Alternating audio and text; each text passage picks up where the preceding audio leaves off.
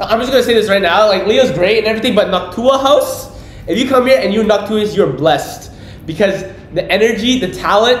I'm just saying, there's a legacy. There's a legacy. Legacy. I'm cut from the cloth of greatness at Noctua. You're literally an exchange student. What do you mean? I'm telling you, I already knew the, the lineage going back, consistently winning every house. He also doesn't have a view because he lives on the level, on level 7. Anyways. Okay. Let's go.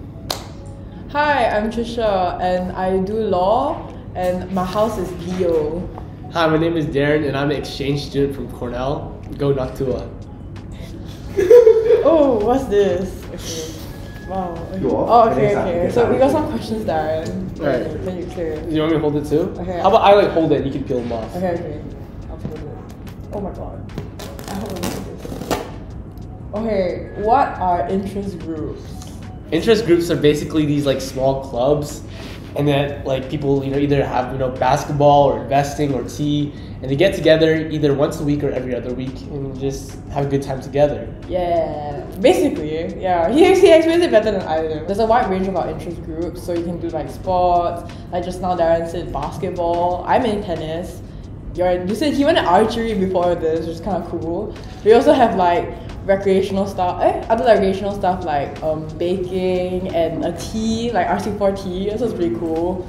And yeah, Floorball, I'm in floorball. I'm also a big uh, ICG fan. We have these competitions where each of the buildings play against each other.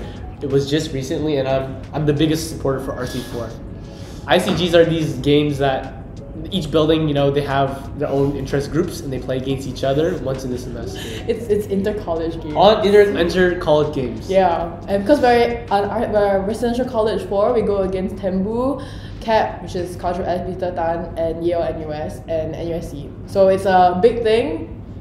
Look out for it if you ever come to RC4. You gonna do the next one? Yeah. Alright. Alright. So tell me.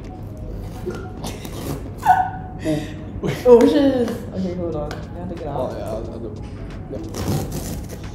How much do you pay to stay at RC4? Okay, um, we paid three point six to stay in RC4 because we both live live in the suite. Yeah, so it's gonna it'll be cheaper for corridor. I'm not really sure of the price. You can like hand to Marcus for that. The meals are included as well. Oh. I got so we get hundred meals, hundred breakfasts, hundred dinner. I really like the food. What do you think about the What do you think about the food? It's fine.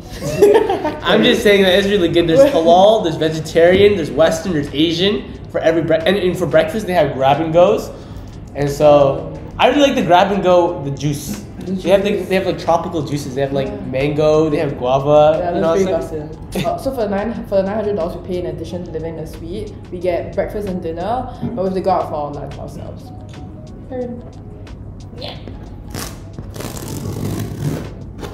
Does RC4 have a selection process for their IGs? Oh, IGs are interest groups to recall. Oh. Actually, no. So I just came here very recently, and they encouraged me to join lots of IGs, but they're very, very welcoming. So I joined like three ICGs. I'm in like captain's ball. I'm in floor ball, tea club, investing, and so it's really a community of people who have like a certain interest. And I'm really glad they were so welcoming, especially for exchange students. So, how about you? What was your experience? Uh, we don't. I literally am in like, like at least twenty. I think twenty groups, and I just come for come for the IGs whenever I want to. And there's no selection process. Like um, they cater to like total beginners as well as like people who've played for or who have done the like whatever the IGs are about for a while. So let's say sports. If you are interested in doing a sport that you've never tried before, you can just come for the I, the IGs and like the seniors will be happy to show you how to do it. Okay. Do grades matter when applying to RC4? Okay, I okay. The selection process, I think they probably don't take into account your grades, but you have to like write a good essay to get in. Um, so for me, I wrote uh, I wrote about RC four, and I wrote about like oh um like how systems thinking is connected to my degree because by then I already had my degree confirmed. So they looked more at that, and then after doing the interview process, they like asked me more about what I thought about RC4 and everything. So no, I don't think grades matter, but you should be, have like a basic ability to express like what you want to do and like why you want to come to RC4. Do you grades matter for you? Come to RC4. Yeah. I had to have over like 3.75 GPA to come to Singapore. And I think after that it was fine. Mm. I had to write an interest letter and basically saying why Singapore. Um, and basically, NUS was a great opportunity for me coming from the States. I have Asian ancestry, but I never lived in the in Asia before.